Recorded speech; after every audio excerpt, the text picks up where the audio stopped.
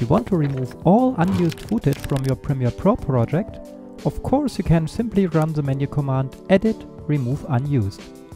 The Automation Blocks tool delete unused footage items does exactly the same but offers some extra features.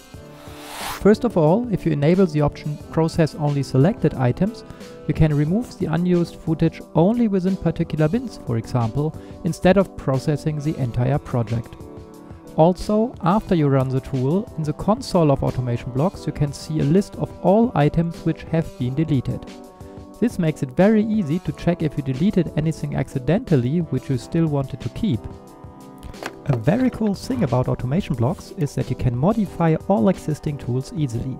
So let's turn this tool, which deletes all unused project items, into one that only writes a list of all unused project items to the console without deleting them. These blocks are the full implementation of the tool. The green block loops over all footage items and executes these nested blocks here for each of them. So for each of these footage items, the blue if block checks if their audio is used zero times and if their video is used zero times.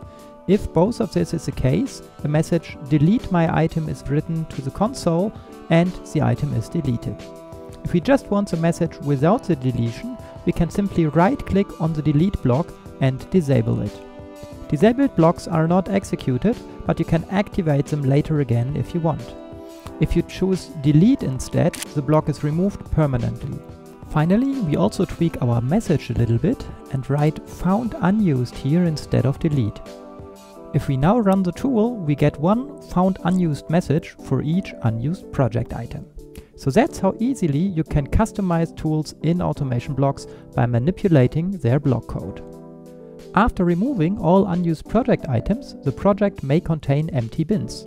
To remove those too, Automation Blocks also has a tool called Delete Empty Project Bins. And of course, I explain this tool in full detail in another tutorial.